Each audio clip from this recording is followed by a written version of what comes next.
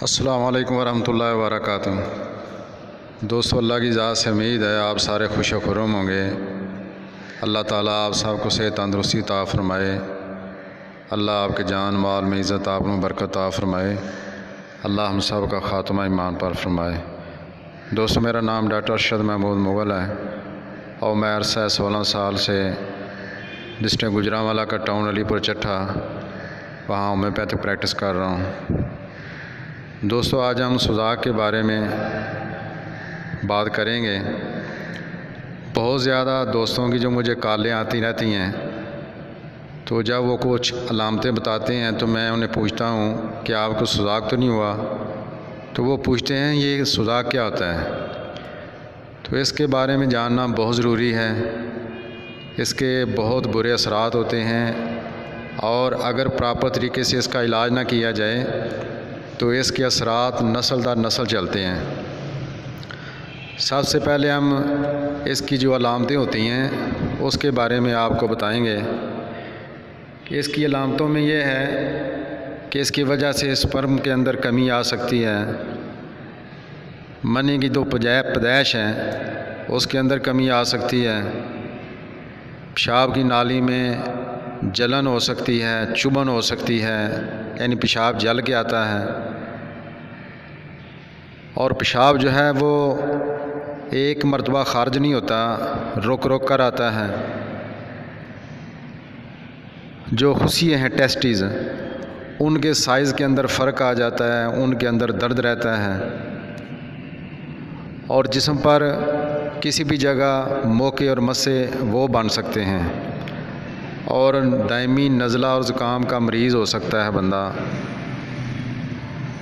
پیشاب کے اندر پس اور پیپ آتی ہے فرسٹ ٹائم جب وہ صبح پیشاب کرتا ہے تو پیشاب کی نالی کا منہ جوڑا ہوتا ہے، دو تین داریں بن کے نکلتی ہیں پہلے، پھر ایک دار بن جاتی ہیں۔ تو یہ تو علامات ہیں۔ اب اس کی وجوہات کیا ہیں؟ وجوہات یہ ہے کسی فاشا گندی عورت کے ساتھ ملاب کرنے سے۔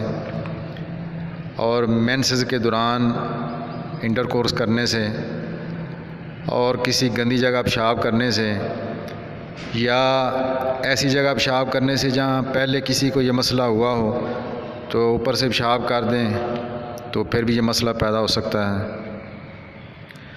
تو یہ بڑی خطرناک بیماری ہے اور اس کا پراپر طریقے سے علاج کروانا ہی آدمی کو بچا سکتا ہے۔ ایلوپیتھک میں دیسی میں اس کا کوئی علاج نہیں ہے۔ اس کا علاج صرف صرف ہومیوپیتھک میں ہے۔ بہت سارے مریض مریض جو ہیں، الحمدللہ وہ صحت یاب ہوئے ہیں۔ انہوں نے شفا پائی ہے۔ تو میرے اسی چینل کے اندر میں نے بہت زیادہ ویڈیوز اس کے لیے اپلوڈ کی ہوئی ہیں سزاک کے بارے میں۔ اس کی مختلف سٹیجیں ہوتی ہیں۔ پہلی سٹیج کے اندر پاس پیپ آنا شروع ہوتی ہے۔ پھر وہ تو ختم ہو جاتی ہے، لیکن جلن شروع ہو جاتی ہے۔ جو ٹیسٹیز ہیں، گولیاں، ان کے اندر انفیکشن ہو جاتی ہیں۔ اور کئی کئی سال ادھر ادھر سے علاج کرنے کے باوجود پیشاب کی نالی کے اندر جلن نہیں جاتی۔ تو آپ میری جو ویڈیوز ہیں، ان سے کنسلٹ کر سکتے ہیں۔ یا براہ راست آپ مجھ سے جو ہے پوچھ سکتے ہیں، مشورہ لے سکتے ہیں۔ تو انشاءاللہ ہم کوشش کریں گے کہ پراپر طریقے سے آپ کا علاج کیا جائے۔ تو دوستو، آپ سے گزارش صرف یہی ہے کہ آپ میرے چینل کو سبسکرائب ضرور کریں، لائک کریں، شیئر کریں، کمنٹس کریں اور دوستوں کے ساتھ جو ہیں وہ شیئر کریں۔ انشاءاللہ اب زندگی پھر ملاقات ہوگی۔ السلام علیکم ورحمۃ اللہ وبرکاتہ۔